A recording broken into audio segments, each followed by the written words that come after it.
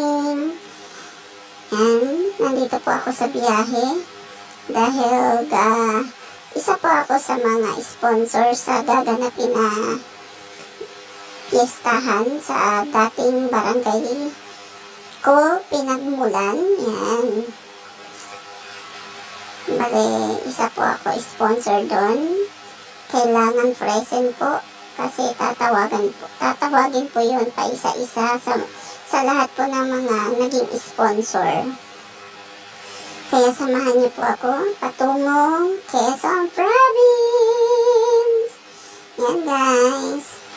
Ito nga pala kinukuha kong video. Nandito po ako sa biyahe. Dito po to banda sa Gumaka, Quezon. Yan papakita ko po sa inyo kasi daanan po talaga ito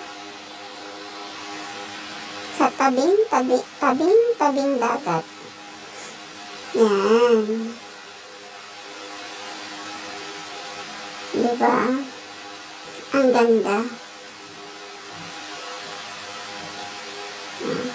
kung yung may nakikita po kayo dyan sa kabilang dagat na may bundok o bundok yan. Yan po ang tinatawag na Quezon Quezon. Yan, nandito na tayo sa may bandang Lopez. Yan po mga guys, biyahe tayo, tuloy-tuloy ang biyahe. Kasi mamaya tuloy-tuloy na rin ang ating ano, sayawan. Hindi na po, busy na ang inyong host. Yan, nandito po. Ito bandang Lopez, Quezon Province. Ang ganda tumira dito sa province kasi ano, makapang-alala ka ng mga hayop like baka, kalabaw, kambing, baboy, manok. Yan. Maganda rin po dito banda kasi fresh ang hangin. Hindi po katulad sa Manila. Ano? Sa Manila naman kasi nandun lahat ang hanap buhay. Kung sa bilisan ng pera, Manila. Pero kung sa mabilisang ubusan ng pera, Manila pa rin. Manila pa rin. Yan, ang ganda ng bahay guys. Yan, tuloy-tuloy po tayo patungong Tagkawayan, Quezon Province dahil doon po ay may piestahan. Katulad nga po sa sinabi ko, isa po akong sponsor or hermanos, ni hermanas doon sa barangay. Kaya kailangan po, ano, nandoon kasi ipapakilala ka isa-isa doon sa mga tao, di ba? Yan guys. Samahan niyo ako sa aming piestahan. May sayawan lang konti, pakilala lang konti, ganun. Tapos hanggang mapagod sa pagsayaw. Ito po ang baka. Ang ganda talaga ang ng baka. Medyo mataba siya, no? Yan, guys. Dahil pupunta ako sa bahay ng aking friend. Yan, sinashoutout ko nga pala ang aking friend sa more. Mega love shoutout sa mga Jamalinda family, Tagkawen Quezon. Yan, mga Escaron family. Diyan po sa bandang Ginyangan, Quezon. Yan natin, na-shoutout ko din ang aking Habibi Norman Hitaas. Yan. At sa aking mga members, sina-shoutout ko din po. Pa-shoutout naman dyan.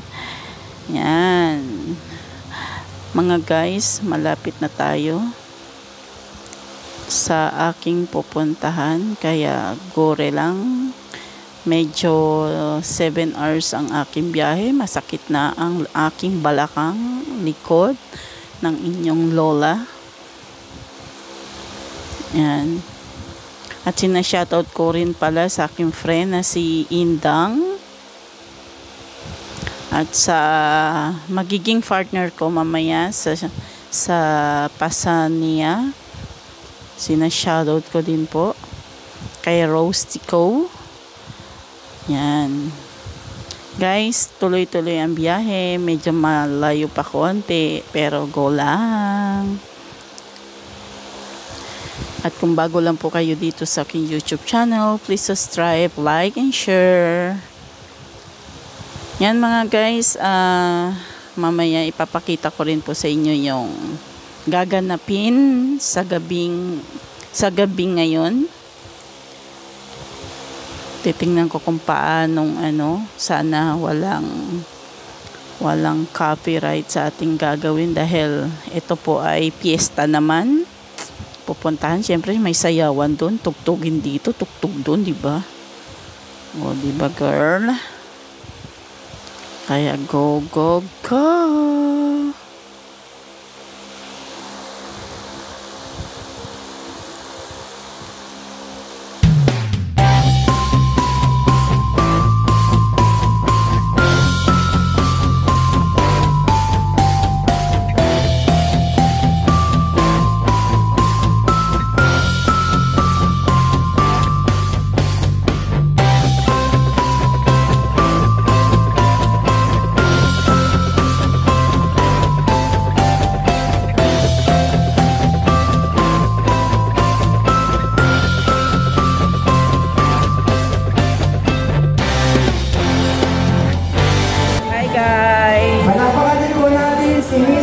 Victoria Gamalina with her partner.